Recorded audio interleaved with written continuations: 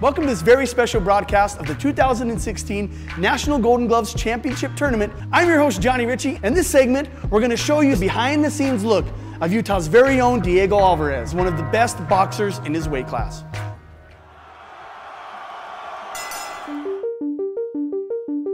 My name is Diego Alvarez. I box and I'm from South Ogden, Utah. Um, and I just really, all I really do is box. Like that's my hobby right there.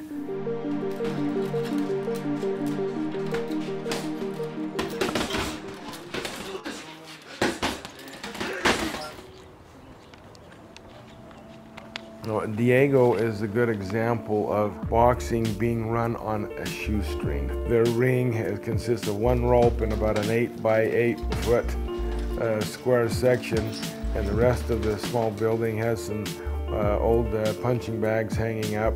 And there are 15 kids that go there every night that the coaches work with, and the coaches volunteer their time. It's hot in there. it's like it's pretty packed. Like it's packed in there because it's a really tiny gym. But um, we just find a way to train in there. If my coach doesn't see that you're working hard, he won't work with you. Like he won't be missing or nothing. He'll just be like, oh, okay, you want to be lazy, then, then that he'll just let you hit the bag all day. But if you work hard, he'll like get you, work you out good. I start off by running. I run um, three miles a day, and then after that, I do my weights, and then I wrap up shadow box like four rounds, and then we spar like six, seven rounds get off at 8. To me, it's fun. I like training. It's like, it's like, at first when I first started, it was hard, you know, it was like struggle, but now it's like part of my life, you know, so I have to like get along with it, you know.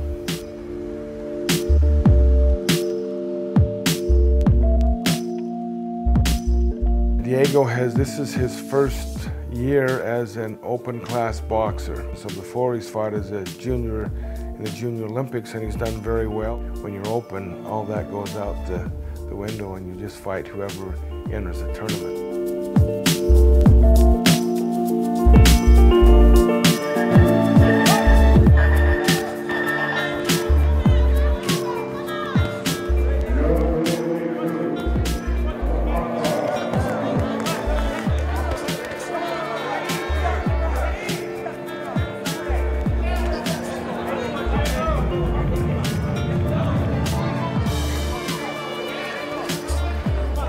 All right, well, there it is. Congratulations go out to Diego Alvarez.